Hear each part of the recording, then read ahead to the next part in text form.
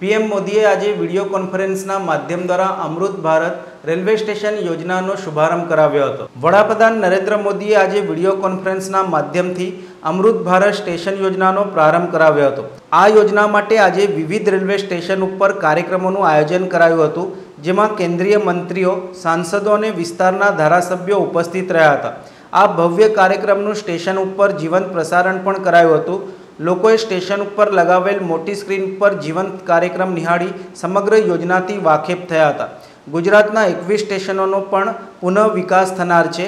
પચીસ હજાર કરોડના રોકાણ હેઠળ પાંચસો આઠ સ્ટેશનો વિશ્વ કક્ષાના બનશે. વડોદરામાં પ્રતાપનગર અને વિશ્વામિત્રી રેલવે સ્ટેશન પણ પુનઃ વિકાસ થનાર છે. આજે પરિયોજનાનો શિલાન્યાસ પીએમ મોદીના વરદ હસ્તે કરાયો હતો.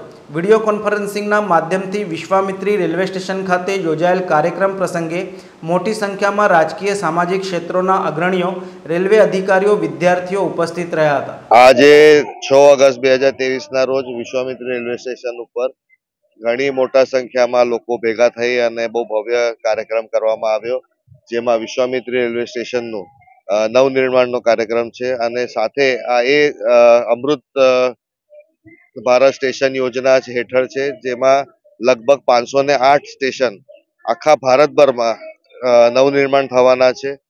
એના પૂર્ણ પુનઃ વિકાસ થાય તે માટે આજે શિલાન્યાસ કરવામાં આવ્યો છે. વડોદરા શહેરમાં લગભગ ત્રેવીસ સ્ટેશન છે જે વડોદરા રેલવેના કમાન્ડમાં આવતા લગભગ ત્રેવીસ સ્ટેશન છે જેનું શિલાન્યાસ થવાનું છે. એમાં પ્રતાપનગર પણ એક છે.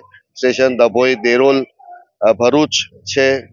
આવા બધા ઘણા બધા સ્ટેશન છે જેનું નવ નવનિર્માણ હાથમાં ધરેલ છે. ઘણો ફાયદો થશે. આજે ટેકનોલોજી જોવા જાવ તો એક સમય હતો જ્યારે આપણે કોઈ કોલસાના એના ઉપર એન્જિન ચાલતા હતા. ત્યારે ધુમાડો એટલું પોલ્યુશન થતું હતું. પછી ડીઝલ આવ્યું. આજે વધુમાં વધુ પ્રયત્ન ભારત સરકારનો ચાલે છે કે આ બધા જ એન્જિનને બદલીને ઇલેક્ટ્રિકના એન્જિન કરવામાં આવે જેથી કરીને પોલ્યુશન ના થાય. અને ગ્રીન એનર્જી છે તો ગ્રીન એનર્જીનો વધુમાં વધુ વપરાશ થાય પોલ્યુશન ઓછું થાય, લોકોના શહેરના એના ઉપર જે આના જે પડે છે પ્રત્યાઘાતો પોલ્યુશનના કારણે એ ઓછા થાય.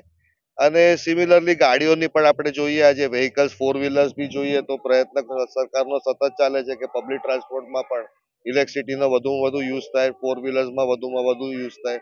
એ રીતે ધીરે ધીરે આ ટેકનોલોજીથી ભારત દેશનું નપળું પણ નવનિર્માણ એક વિકાસના જે આપણે હંમેશા ગુજરાત પ્રદેશ પ્રથમ હરોળમાં રહેવા માંગે છે એ રીતે હવે માનનીય પ્રધાનમંત્રી શ્રી નરેન્દ્ર મોદીનો પ્રયત્ન છે કે વિશ્વભરમાં ભારત દેશ પણ એક નવા, પહેલી હરોળમાં ઊભું જઈને ઊભું રહે એ પ્રકારના પ્રયત્નો ચાલી રહ્યા છે અને આવતા સમયમાં આપણે કેટલા સારી રીતે એને આગળ મૂકી શકીએ અને પહેલી હરોળમાં ઊભા રહીએ એ જ એ જ જોવાનું છે હવે. દેશના વડાપ્રધાન નરેન્દ્ર મોદીજી દરેક ક્ષેત્રમાં જે વિકાસનું જે અભિયાન શરૂ કર્યું છે, પછી હાઈવેના રસ્તા હોય એરપોર્ટ હોય કે રેલવે હોય. આજે જાણીને આનંદ થયો કે પાંચસો ને આઠ રેલવે સ્ટેશન જે જૂના હતા, એનું નવીનીકરણ કરવા માટે પચીસ હજાર કરોડના ખર્ચે આજે એનું ખાતમુહૂર્ત થશે અને કામ શરૂ બી થઈ જશે. એનું પ્લાનિંગ એને જે પૈસા ફાળવેલા છે, આ બધું ને આપણે બરોડાની આસપાસ જે છ રેલવે સ્ટેશન છે, એનું પણ નવીનીકરણ થશે. એટલે દેશમાં સતત વિકાસ ચાલતો આવ્યો છે અને બે હજાર ચોવીસમાં નરેન્દ્ર મોદીજી ફરીથી દેશના વડાપ્રધાન બન્યા સમાચારોના સતત અપડેટ મેળવવા માટે લોકમત ન્યૂઝને યુટ્યુબ ઉપર સબસ્ક્રાઇબ કરો. બેલ આઇકોન દબાવો અને અમારી સાથે જોડાયેલ રહો. ફેસબુક ઇન્સ્ટાગ્રામ અને ટ્વિટર ઉપર.